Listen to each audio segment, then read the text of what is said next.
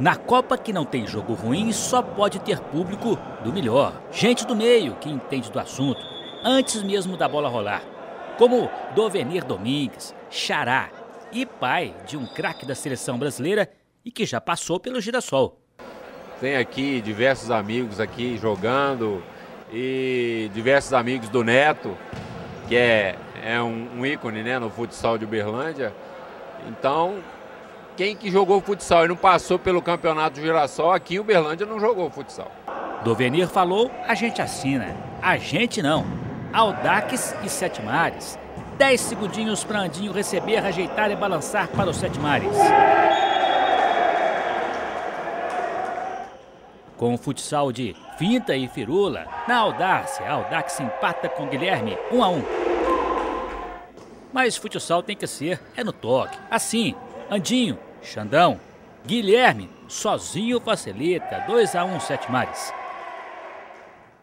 Tocou errado, a coisa muda ainda mais. Na frente do Andinho, então, é fatal. Agora Andinho tomou e ligou, logo com Joninho, sozinho não tem erro, 4 a 1 Sete Mares.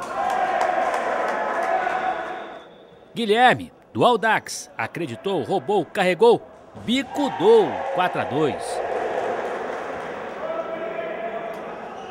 Xandão, depois de muito chutão, aliás, esse é um assunto à parte. Deixou dele também, na raça, 3 a 2. Agora olha o que o Johninho faz para fazer o sexto. Não deu no domínio, totozinho por cima, e seja o que for, e foi. O Aldax ficou naquela de chegar bonito e não fazer. Passou a vez. Do jeito que for, Andinho lá dentro esperando para o 7 do 7. Final, Sete Mares, Udicar 7, Audax Império Music 2. Com futsal Audácia. Não faz mal. Foi azar mesmo. O time dele está de parabéns, jogou muito bem, mas é isso aí. Trabalhar na próxima sair com uma bela vitória. Agora, a característica do Aldax, um time diferente, que explora bastante a jogada individual, a habilidade. É importante também dar um espetáculo em quadra. É, exatamente. A gente tenta sempre fazer o futebol bonito, né, para ajudar o público aí, para eles verem o futebol bonito. É isso aí, continuar trabalhando. Vamos lá. Se for com futsal, força e raça, Xandão fala pelos Sete Mares.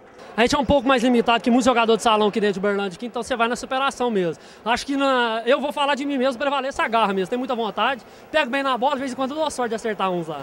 Agora, você já experimentou medir a velocidade do seu chute? Não, eu vou arriscar aí uns 110 por hora. Aí você é multado, hein? Pouquinho, né? Vale a pena.